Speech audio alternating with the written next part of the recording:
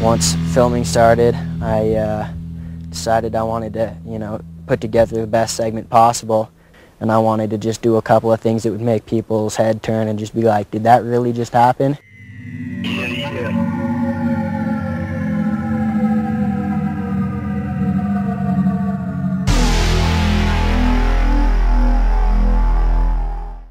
So I went as fast as I could and just went at it as big as possible. Right as I was in the tranny of the jump, I knew I wasn't going to make it.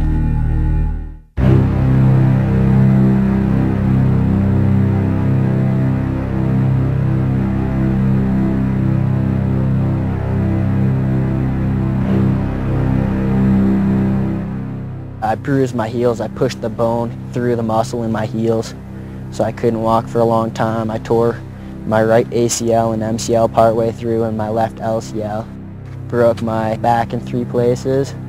I broke my right thumb and I collapsed a lung.